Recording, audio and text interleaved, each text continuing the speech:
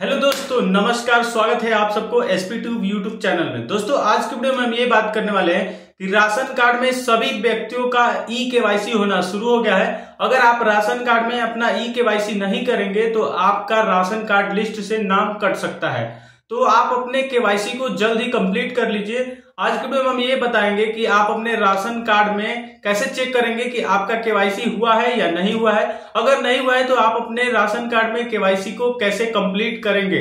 तो आज की वीडियो इसी टॉपिक पे है। आप पूरे वीडियो को देखिए और लास्ट तक देखिए और कैसे केवाईसी होगा, ये भी मैं आपको बताऊँगा। आप ये भी देख सकते हैं कि कैसे केवाईसी किया जाता है लाइव प्रोसेस मैं आपको करके दिखाऊँगा।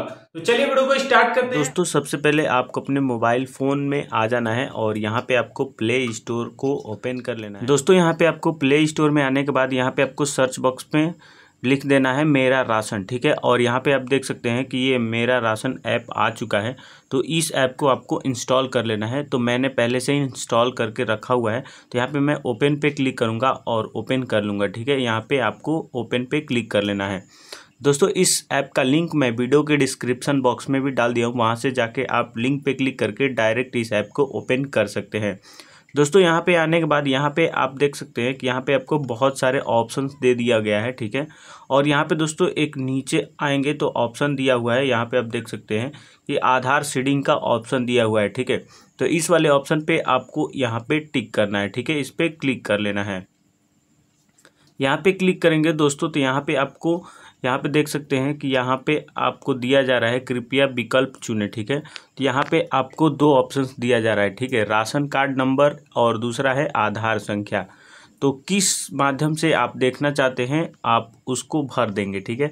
अगर आपके पास राशन नंबर है तो आप यहाँ पे राशन नंबर यहाँ पे आप डाल देंगे, ठीक है? अगर आपके पास राशन नंबर नहीं है तो आधार वाले ऑप्शन पे टिक करेंगे और यहाँ पे आपको आधार नंबर भर देना है, ठीक है? तो यहाँ पे मैं आधार वाले ऑप्शन पे टिक कर दे रहा हूँ और मैं अपना आधार नंबर डाल दे रहा हूँ, ठीक है?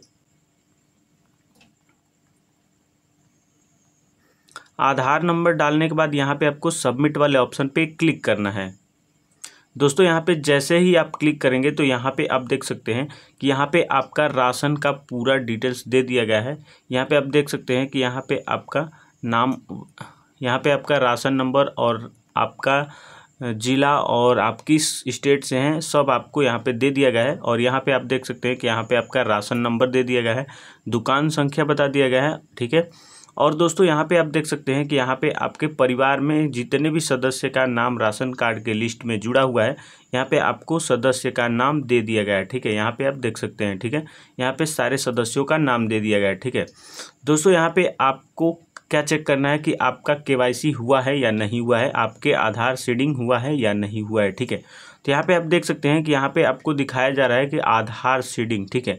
यानी जिस, जिसके आगे यहाँ पे यस का निशान लगा है, आप समझ जाइए कि आपका आधार के हो चुका है, ठीक है? यानी आपके राशन कार्ड में के कंप्लीट है। अगर यहाँ पे, अगर किसी के नाम के आगे नो का ऑप्शन दिया होगा तो वो समझ लीजिए उनका केवाईसी नहीं हुआ है, ठीक है? तो उनका केवाईसी इस केस में करना अनिवार्य है, अन्यथा आपका नाम इस राशन कार्ड के लिस्ट से कट जाएगा।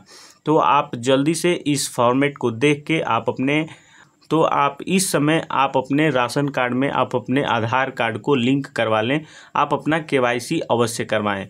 अन्यथा आपका राशन कार्ड की सूची से नाम कट भी सकता है। तो दोस्तों, इस तरह से आप चेक कर सकते हैं कि आपका राशन कार्ड में ई के हुआ है या नहीं हुआ है, आपका आधार सीडिंग है या नहीं है।